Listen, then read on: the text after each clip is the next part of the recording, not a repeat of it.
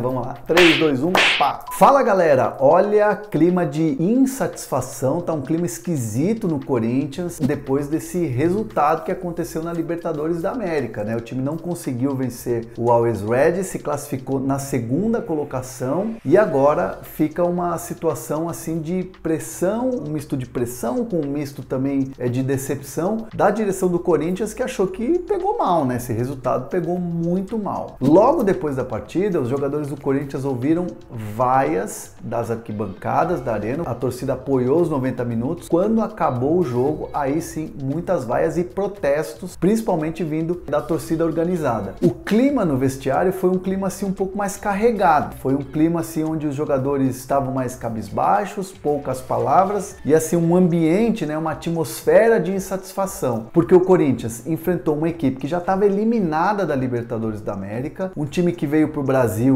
jogar com os reservas e o Corinthians não conseguiu vencer. O Corinthians agora está na segunda colocação do grupo, no sorteio está no pote 2 e o pote 1 um, você tem as grandes equipes, então tem tudo para pegar, por exemplo, o Corinthians, um clássico brasileiro já nas oitavas de final. O que para um time que está em formação, o Corinthians que ainda busca um melhor momento com o Vitor Pereira, acaba jogando sem dúvida nenhuma uma pressão muito grande porque a torcida do Corinthians está protestando. A torcida do Corinthians, muitos até em rede social eu vi que acharam que foi assim um vexame do Corinthians. É claro que a direção do clube não vai publicamente criticar é, o, algum jogador ou vai criticar a comissão técnica, o ambiente foi um ambiente de que assim, ó, a direção achou que isso pegou muito mal. Tanto que eu mandei algumas mensagens e disparei algumas mensagens para pessoas importantes do Corinthians e a resposta que veio do outro lado foi algo do tipo assim: o Corinthians venceu o Boca Juniors lá na Arena, o Corinthians empatou na Argentina, um jogo que foi considerado muito bom, inclusive, mas ficou atrás do Boca Juniors que se classificou em primeiro. Não perdeu para o time argentino, nem no jogo de ida, nem no jogo da volta, e acabou ficando atrás, que acabou sendo determinante, muito ruim para o Corinthians nessa classificação na segunda colocação, foi não ter vencido o time boliviano. Lembrando que o Always Red ganhou do Corinthians no jogo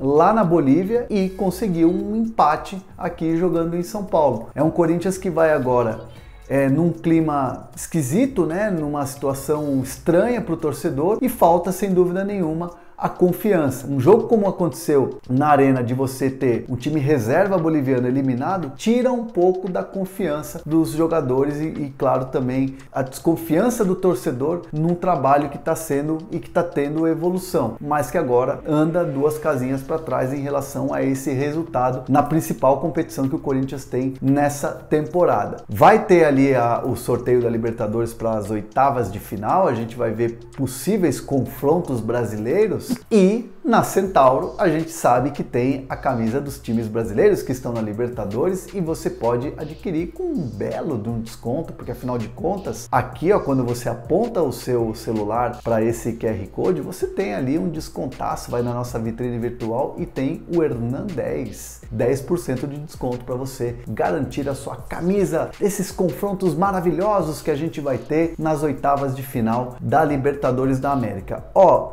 eu quero também trazer aqui algo que acabou ficando no ambiente corintiano como positivo, que foi o que? A entrada do Roger Guedes. O Roger Guedes vinha de dois jogos sem entrar na reserva, teve toda aquela cobrança do Vitor Pereira, a resposta que havia a promessa do Roger Guedes era em campo nos treinamentos. Nas três primeiras substituições no jogo contra o Always Ready, o Roger Guedes não foi chamado, né? Entrou o William, entrou o Joe, entrou o Renato Augusto. Mas a própria torcida do Corinthians criou essa coisa de chamar o Roger Guedes, pedir a entrada do Roger Guedes, ou seja, um ambiente favorável para o jogador. Roger Guedes entrou, teve poucos minutos, depois teve que ficar um pouco mais à frente com a saída do jogo, que foi machucado, saiu machucado. Ele até deu um passe legal ali para o Renato Augusto, que acabou perdendo o gol na cara do goleiro. Mas ali já estava um Corinthians desesperado, desarrumado, tentando de qualquer forma é, o resultado. Então, um ponto positivo para o Roger Guedes, que a gente percebeu que teve a torcida do lado e agora ele tem um ambiente de confiança para tentar ser titular nos próximos jogos do Campeonato Brasileiro e, claro, da Libertadores, que agora o Corinthians se vê pressionado por tudo que aconteceu nesse grupo. O Boca passando na frente e o Corinthians na segunda colocação. E você, o que, que você acha? Você acha que o Corinthians merece todas essas críticas ou de repente é uma pressão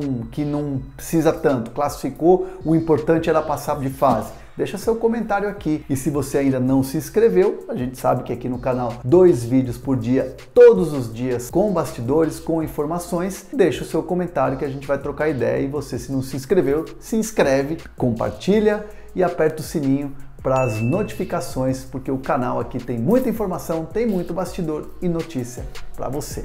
Valeu!